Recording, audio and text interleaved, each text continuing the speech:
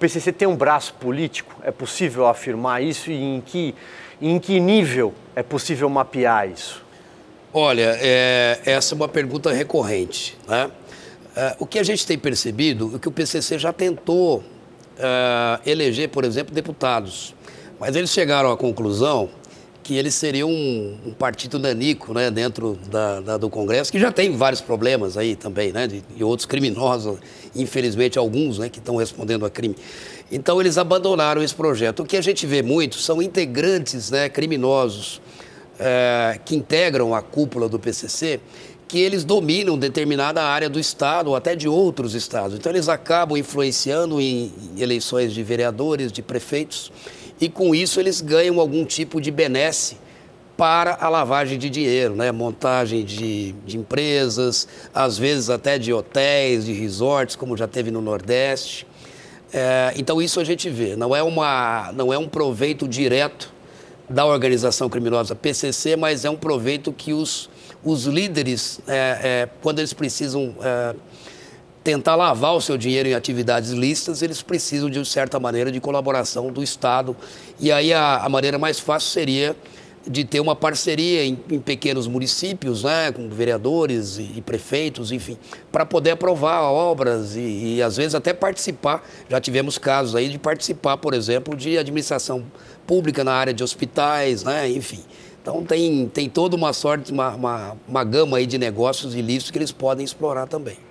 Eu, eu, eu, queria fazer uma pergunta, mas é a vez do Constantino. Tem a história do diálogo cabuloso, né, Constantino? Lembra do, do integrante do PCC grampeado pela Polícia Federal falou que tinha um diálogo cabuloso com o PT, mas a pergunta é do Constantino, depois a gente volta a isso. Não, Lacombe, Lacombe, a gente segue nessa toada porque o Silvio ele manteve a tradição e pegou a minha pergunta, né?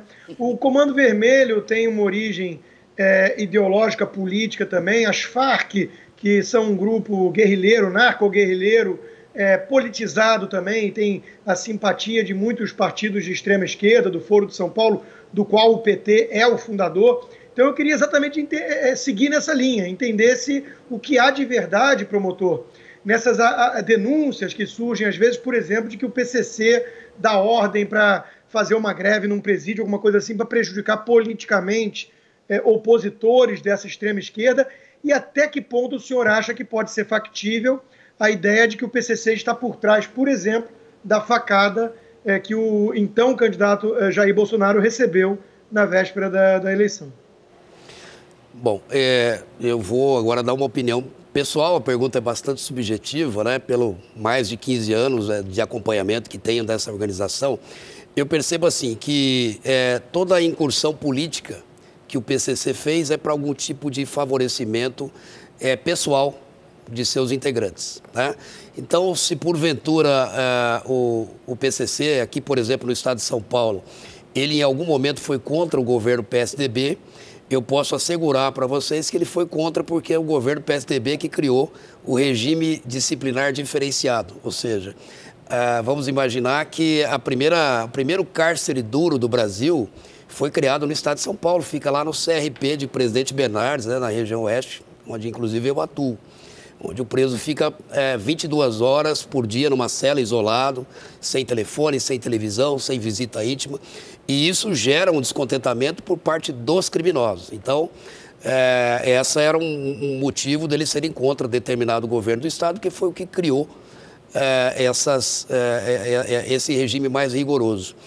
Com relação a, a, ao Bolsonaro, não há, até o, o, que me consta, não há nenhuma evidência de participação do PCC é, na, na, no crime né, que sofreu o presidente. Eu não tenho detalhes da, da, da investigação lá, né, mas eu tenho bastante detalhes do é, funcionamento do PCC. Como eu disse, para eles não seria é, nada vantajoso ter participado disso porque isso gera um recrudescimento, né, uma, um endurecimento das leis. Nós tivemos o pacote anticrime é, é, aprovado pelo governo Bolsonaro, então eu não vejo nenhuma, nenhuma vantagem política. Né? Eu não vejo o PCC hoje como uma, uma organização que tem uma ideologia, um viés político. É, o único viés que tem essa organização hoje é a, a possibilidade de aumentar os seus lucros. Inclusive, eles abandonaram a defesa é, principal né, da, da, deles, que era a defesa do preso. Né? Você não vê mais rebeliões aqui no estado de São Paulo ou fora que são patrocinadas pelo PCC é, brigando por algum direito do preso que eles entenderam violados.